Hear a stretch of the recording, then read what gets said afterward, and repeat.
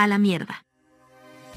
Hola a todos seguidores aquí su zorra mensa con un nuevo video basado en la maldición que poseen nuestros queridos rivales de la franquicia siendo este un preludio de un video siguiente, donde antes de comenzar dejar un me gusta que ayuda mucho, comenta tu rival favorito de la franquicia que quiero saber tu opinión y suscríbete que subo video cada domingo, donde los invito a ver el video de curiosidades Ghostrick que necesita amor jaja, dicho esto podemos comenzar. La primera maldición es una situación bastante común en la franquicia y es que al enfrentarse al protagonista, muestran casi siempre una superioridad enorme dejando caer que es un muro casi imposible de abatir. Véase el caso de Kaiba usando a sus tres dragones blancos de ojos azules, Chas arrasando con los monstruos de Jaden con su dragón armado, Jack siendo superior con su dragón archidemonio y podemos seguir y seguir. Sin embargo, casi siempre el protagonista logra salvarse ya sea por una carta bastante situacional como porque se tenga que retirar el rival como es el caso de Yuma y Yuya que en su primer enfrentamiento contra estos se retiraron.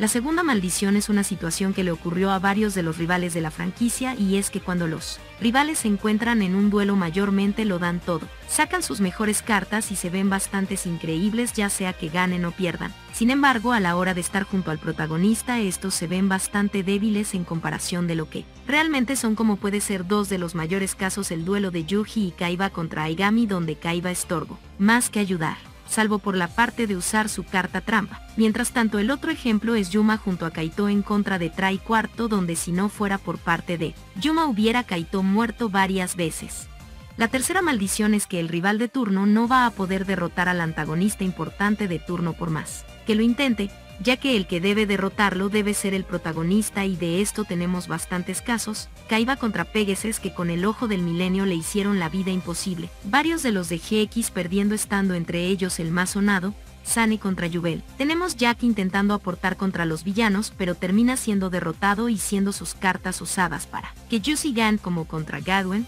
Kaito perdiendo contra el poderoso número de Tron, acaba Reiji perdiendo contra Sark porque en ese momento ya tenía mucho campo montado y revolver contra Rayo, aunque fuera un empate igual no se llevó la victoria.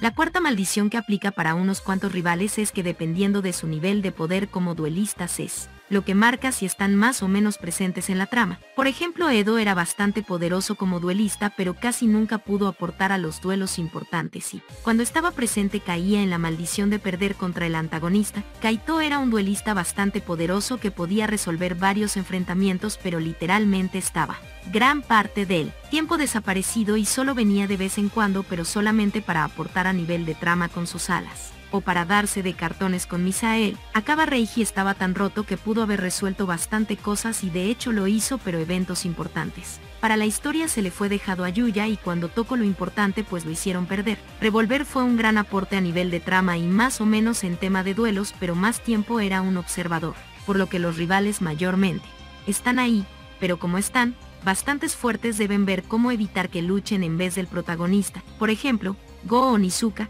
que igual podemos contarlo como rival y que estuvo a la altura de enfrentar a Revolver, terminó por ser su arquetipo entero cambiado por otro y Chas le metieron los Ojamas, aunque no podría decir que es tanto nerfeo ya que luego le metieron soporte anime y lo hicieron funcionar, pero bueno podemos pasar a las conclusiones.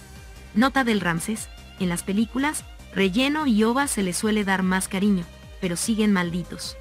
Ser un rival en esta franquicia es bastante duro porque te limitan bastante para lo que puedes realizar en un duelo o en la propia trama, donde sé que es obvio pero claramente me salte Sevens porque Luke patea como quiere las maldiciones estás el muy desgraciado. Pero bueno, si les gustó mucho estas maldiciones entonces estar preparados porque se viene videos más detallados sobre los rivales de las distintas temporadas comenzando con Kaiba, por lo que ya saben, estar atentos si les llama la atención que sin falta llevo subiendo video los domingos, mantenerse sanos seguidores. Los quiero mucho y nos veremos el siguiente domingo. Piu piu.